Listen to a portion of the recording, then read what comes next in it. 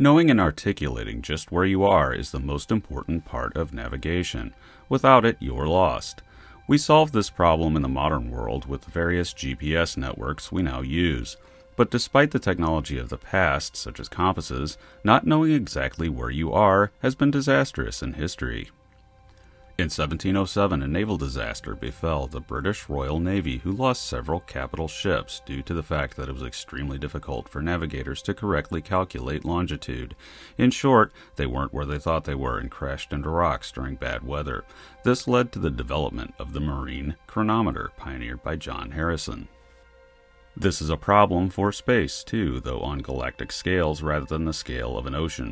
In 1972, Carl Sagan, Frank Drake, and Linda Sagan were faced with just such a problem when devising the Pioneer plaques. How do you tell an alien civilization where you are? Setting aside the merits of giving aliens a roadmap to Earth, they used the relative positions of 14 pulsars in relation to the center of the galaxy. This makes sense. It's a good bet that a spacefaring alien civilization would understand the principles of navigation, and also understand how uniquely odd pulsars are and how useful they are for determining where you are. Pulsars can behave like clocks. Specifically, millisecond pulsars emitting X rays are particularly good and have an accuracy comparable to that of an atomic clock. In fact, the accuracy of some pulsars in their emissions are so regular and accurate that they don't, on their face, seem natural. Because of this, when they were first discovered, pulsars were initially thought to be of human origin. They looked so artificial.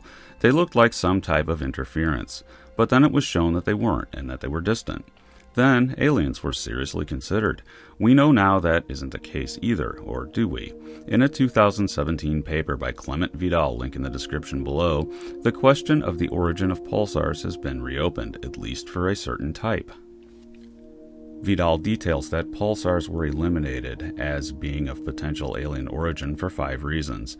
The first was because of the truly huge amount of energy a pulsar radiates, but Vidal shoots this down by pointing out that we really have no idea what the energy usage of an advanced alien civilization would be. After all, we do talk about Kardashev scales and building Dyson spheres, all of which imply high energy use. We also don't know what the rules are there. If pulsars aren't natural outright, it would take a lot to create one. But if they are partially natural, but their output is being tweaked by a civilization for navigational use, energy and resource expenditure equations change. The second contributing argument to ETI being ruled out with pulsars was that they are not unique. The argument was made years ago that it would be unlikely for two separate alien civilizations to be broadcasting at similar frequencies towards Earth at the same time. Vidal shoots this down too, noting that aliens coming to Earth and seeing two cell phones broadcasting on the same frequency would be silly to conclude that it was natural.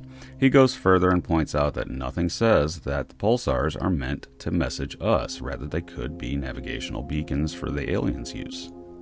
The third argument was that the signals from pulsars did not emanate from a planet. Vidal points out that there is a bias here, and he's right again, that an artificial extraterrestrial signal does not necessarily need to come from a planet, or even anywhere close to a star system. It's probably more likely that it would, but in the end, we really don't know where they might come from. The fourth argument is that pulsars are not narrowband, not by a long shot actually.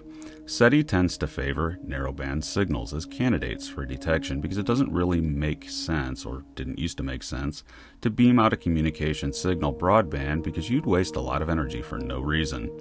Vidal counters that we ourselves emit in a broadband way, and if the pulsar were natural, with one area of the spectrum being tweaked for communications, the rest of the emissions could just be the remaining natural transmissions of the pulsar. Fair enough. The final one, number five, is the strongest, and this is where I get skeptical. Fully natural models for pulsars exist. In fact, we have a fairly good understanding of them and how they form. In other words, an alien origin explanation simply isn't needed when you have natural models that fit the bill. Vidal counters this with three answers. The first is that to consider pulsar formation as an effect of an extraterrestrial intelligence, you don't need to throw those models out. They could be fully natural and are simply being manipulated by the ETI, specifically millisecond pulsars, or could be present in nature but also could be created by artificially triggering a supernova.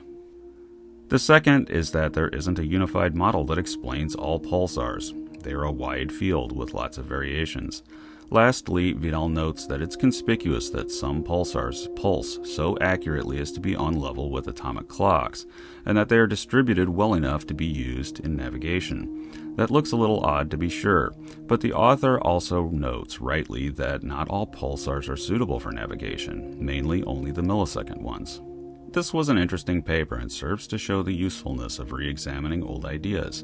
I'm skeptical on this one given the weight of pulsar research, but it does open up a new possibility for SETI and should be looked at. But what I found most interesting is that even if all pulsars are fully natural, they may well be the one thing in our galaxy that all spacefaring civilizations present are using for navigation. We're looking at them too and used them on the Pioneer plaques, so in a sense, we may already be a user of the galactic positioning system without realizing it. Thanks for listening. I am futurist and science fiction author John Michael Godier, currently advocating the addition of taking naps to the Summer Olympics roster. I'll win the gold every time, though it won't make for good television ratings. And be sure to check out my books at your favorite online book retailer and subscribe to my channel for regular, in depth explorations into the interesting, weird, and unknown aspects of this amazing universe in which we live.